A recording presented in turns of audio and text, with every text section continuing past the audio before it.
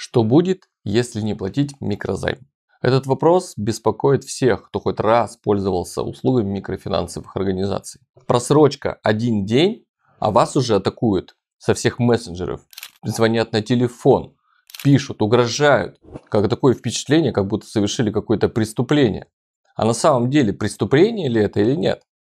Я Игорь Полицаев, юрист, руководитель юридической компании Полицаев Group. Помог своим клиентам списать долгов на сумму более 200 миллионов рублей. Сам лично участвовал более в 4000 судебных заседаний, более 2000 дел выиграл. Делюсь своим опытом на страницах Instagram и YouTube.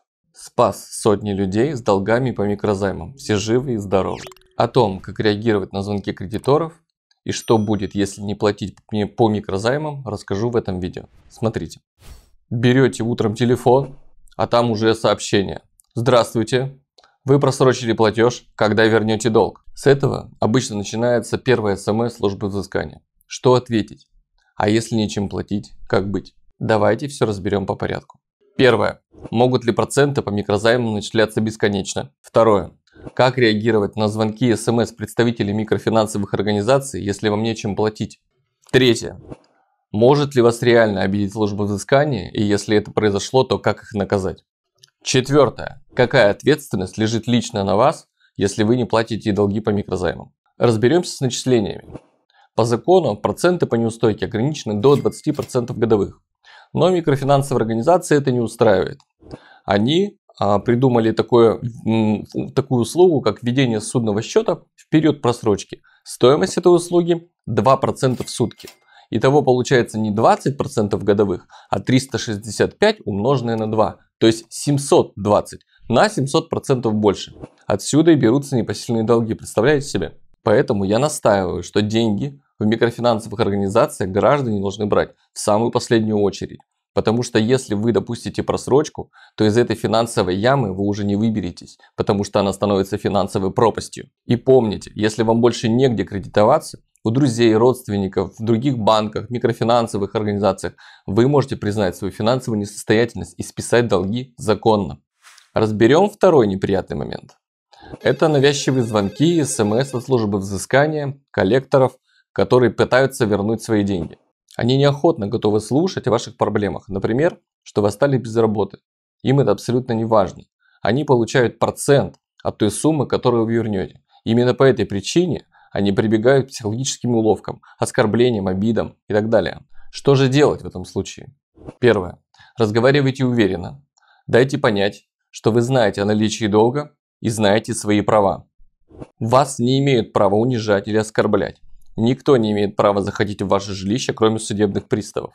Никто не имеет права описывать ваше имущество, кроме тех же судебных приставов, даже если вы должны 1 миллион рублей. Если вы не готовы общаться с коллекторами, терпеть их унижение, оскорбления, вы можете не брать трубку, то есть не отвечать на их звонки, не реагировать на их смс, вы можете сменить номер. Никакой юридической ответственности за это нет.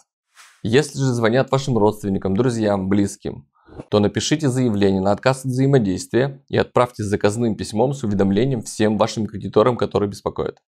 Также за защитой своих прав вы можете обратиться в полицию, в прокуратуру, в суд, к судебным приставам. Именно они контролируют деятельность микрофинансовых организаций по закону. За незаконные действия коллекторское агентство могут оштрафовать, лишить лицензии. И такой положительной практики становится все больше и больше по стране.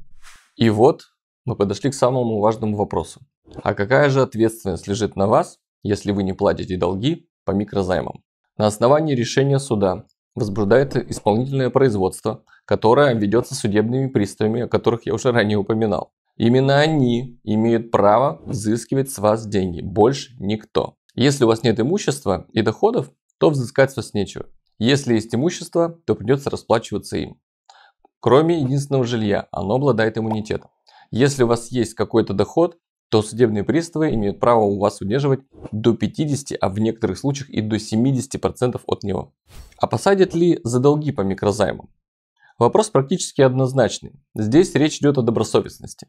Если вы взяли микрозайм, потеряли работу, успев там, допустим, внести один платеж, тогда вас никто никуда не посадит. А если вы брали микрозайм с целью его не выплачивать, то это, извините, мошенничество. Обман. присвоение чужих денег, тогда, конечно, посадят. Если вы добросовестный гражданин, то знайте, единственный законный способ в России избавиться, то есть списать все долги, это 127 федеральный закон. Других способов нет. Подведу итог. Вы не можете платить микрозайм – это не преступление. Кредитор может обратиться в суд и по решению суда взыскать с эти деньги. Приставы будут у вас взыскивать, если у вас есть имущество или есть доход. Иные требования с угрозами являются незаконными. Детей за долги по микрозаймам никто у вас не заберет. Органы опеки действуют исключительно в их интересах. Если вам негде перекредитоваться, попробуйте зайти в банк, ну или списать долги. Кредитор же может воспользоваться своим законным правом обратиться в суд и взыскать деньги по решению суда, но не более того. В процедуре банкротства любой кредитор не имеет права с вами общаться после первого суда. То есть тогда, когда суд вас признает банкротом именно временно несостоятельным гражданином. Все общение переходит на финансового управляющего. Поэтому, если у вас есть непосильные долги по кредитам, микрофинансам, ЖКХ, штрафам, налогам, пишите нам в комментариях «Хочу консультацию». Разберем проблему каждого клиента отдельно. Если это видео было вам полезно, ставьте лайк, подписывайтесь на мой канал и до встречи с новым видео. Пока!